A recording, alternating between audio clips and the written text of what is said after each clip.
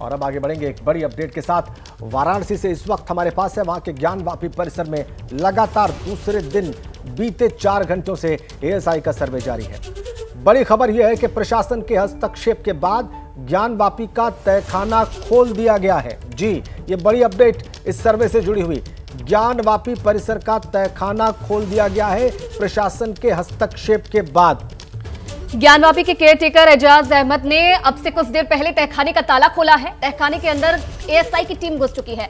ये जानकारी मिल रही थी कि चाबी नहीं सौंपी जा रही है एएसआई टीम को, क्योंकि तहखाने में भी जो सर्वे है वो करना है। लेकिन अब ये अपडेट है, अब ये जानकारी मिल रही है कि प्रशासन के हस्तक्षेप के बाद जो ज्ञानवापी का तहखाना है, उसे खोल दिया गया है। ज्ञानवापी के जो केयरटेकर है, एजाज अहमद, अब से कुछ ही देर पहले उन्होंने तहखाने का ताला खोल दिया है और अपडेट ये है कि तहखाने के अंदर एएसआई की टीम घुस चुकी है। दूसरा दिन है सर्वे का। पहले दिन भी आपने देखा, काफ़ी घंटे तक जो एएसआई की टीम थी, उन्होंने सर्वे किया और अब जो है, आज दूसरा दिन है, आज भी काफ़ी महत्वपूर्ण दिन है। अब तहखाने के अंदर जो है, सर्वे एएसआई की टीम करेगी। और अब आपको सीधा वाराणसी लिए चलते हैं।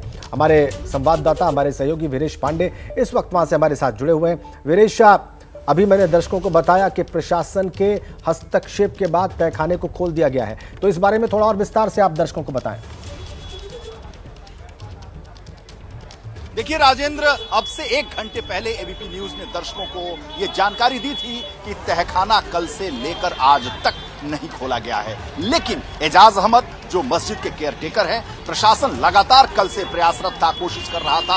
उनके प्रयास के बाद प्रशासन सफल हुआ और प्रशासन के हस्तक्षेप के बाद एजाज अहमद, जो केयर टेकर है मस्जिद के, उन्होंने तहखाने को खोल दिया है। हिंदू सूत्रों से, हिंदू पक्षकारों का जो सोर्स है हमारा, उसके ज़रिए जो खबर आ रही है, वो तहखाने में सर्वे की टीम पहुँच गई है। तहखाने के अंदर बहुत सारी ऐसी कलाकृतियाँ मिली हैं, जिनके बारे में हिंदू पक्ष दावा कर रहा है। जो हिंदू पक्षकार हैं, वहाँ मौजूद हैं। जी, सर्वे की टीम में मौजूद पक्षकार जो हमारे सोर्स हैं, उन सब का दावा है कि तहखाने के अंदर सर्वे की टीम घुसी है और वहाँ पर कलश मिला है। वहाँ पर मूर्तियाँ मिली हैं और साथ ही साथ दीवारों पर कमल की आकृतियाँ मिली हैं। ऐसे में जो दावा लगातार हिंदू पक्ष की तरफ़ से किया जा रहा था और उसे भरोसा था वो आश्वस्त था वो लगातार इस बात का भरोसा दिला रहा था कि हम केवल आस्था की बात नहीं करते बल्कि हमें ये भरोसा है कि वैज्ञानिक परीक्षण सर्वेक्षण के बाद भी हमारा जो आस्था का दावा है उस पर मुहर फिर से एक बार विवेश फिर से दर्शकों को बताएँ कि सूत्रों के हवाले से क्या जानकारी आपके पास क्या मिला है अंदर? देखिए, जो ज्ञानवापी, जो यहाँ से मुश्किल से हम लोगों को बैरिकेड करके रोका गया है, पचास कदम के दूरी पर है, वहाँ पर सर्वे चल रहा है और हिंदू पक्षकारों की तरफ़ से जो सोर्सेस से हमारे पास जानकारी आ रही है, उसमें स्पेसिफिक तरीके से मैं आपको बता दूँ कि कल से अभी तक मस्जिद का रकबा नंबर 9130 को बैरिकेटेड एरिया का सर्वे कर रहा कर, लेकिन अब तहखाने में एसआई पहुँच गई है और वहाँ माने तो सूत्रों की तो मूर्ति के अलावा एक दो फीट का त्रिशूल मिला है साथ ही पाँच कलश मिले हैं। कमल निशान आकृतियाँ दीवार पर मिली हैं। एएसआई अपने हाईटेक इंस्ट्रूमेंट्स के ज़रिए मूर्ति के कालखंड का पता लगा रहा है। एक चार फीट की मूर्ति मिली है जिस पर कुछ कलाकृतियाँ हैं। यानी मैंने आपको बताया कि पाँच कलश मिले हैं। कमल का निशान दीवारों पर जो उभरा हुआ है वो मिला है और जो मूर्ति मिली है, उसे हाईटेक उसे बहुत संभाल कर एएसआई की टीम उसकी जाँच कर रही है। उसके कालखंड का जाँच किया जा रहा है कि आखिर ये मूर्ति किस कालखंड की है, क्योंकि एएसआई के पास जो सर्वे की टेक्निक है आईआईटी कानपुर से जो जावेद अली के साथ संपर्क के साथ जो एएसआई लगातार सर्वे कर रही है, यानी मुस्लिम जावेद अली प्रोफेसर आईआईटी कानपुर के सहयोग से जो विदेश में बैठे हुए हैं, उनके ज़रिए, यानी वीडियो कॉन्फ्रेंसिंग के ज़रिए उनके दिशा निर्देश पर जिस तरीके से एसआई सर्वे कर रही है अपनी हाई टेक्निक के ज़रिए उस मूर्ति के कालखंड को भी जानने की कोशिश कर रही है बड़ी संभाल कर कोशिश किया जा रहा है। और दीवारों पर जो आकृतियाँ हैं कमल निशान की आकृतियाँ हैं जो कलश मिले हैं उन सबको भी हाईटेक तरीके से उसकी जाँच की जा रही है। तहखाने में एसआई की टीम पहुँच गई है। हिंदू पक्षकारों के सोर्सेज से एबीपी न्यूज़ पर बड़ी खबर, एक्सक्लूसिव खबर। मैं आपको दे दूँ कि तहखाने की चाबी केयर टेकर एजाज अली ने सौंप दी है। अब से कुछ देर पहले सौंपी है। कल से लेकर आज तक